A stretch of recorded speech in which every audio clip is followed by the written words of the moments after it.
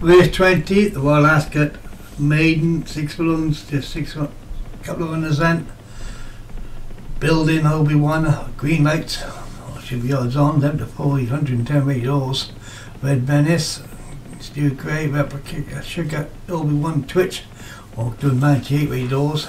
Radiant Mirage, and Amber Green, well, if it's the two newcomers, they're not good class, green lights and Twitch, should be fighting this out. And it's Red Menace, one of the newcomers, first to show, being pressed by Replicator Sugar. Winning off of 8 to 30, so it's the the race. It's leading at the moment from newcomer Red Menace. And then comes Green Lights, 110. He's rated a group, com- group class. 110, he should be able to win a group three with a weight, 110. It's Replicator Sugar, Red Menace. Green Lights is tracking him through Twitch. The other class also Neil 98 in fourth, and these two followed by Radiant Mirage. Amber and Green and Building are tailing themselves off. The final two, and the favourites come alongside the pressed Red Menace. It's Red Menace on the inside, Green Lights on the outside.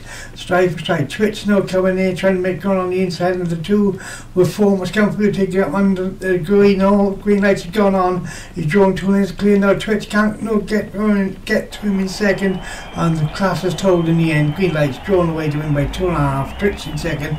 Radiant and Mirage it's gone with the ratings. 1910, 1979, and then Granny's in fourth was a newcomer. I think it might have been, I think it was a newcomer of Obi-Wan's. Of, that would be Red Menace, uh, back behind him, uh, fifth. And then Amber Green and Replicated Bit of Win. I forgot Derek Inton. Um, green lights showed his class.